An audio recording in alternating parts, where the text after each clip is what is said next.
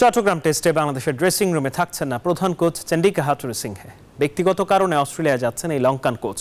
ত্রিশ মার্চ চট্টগ্রামে শুরু হবে বাংলাদেশ শ্রীলঙ্কার মধ্যকার সিরিজের দ্বিতীয় ও শেষ টেস্ট।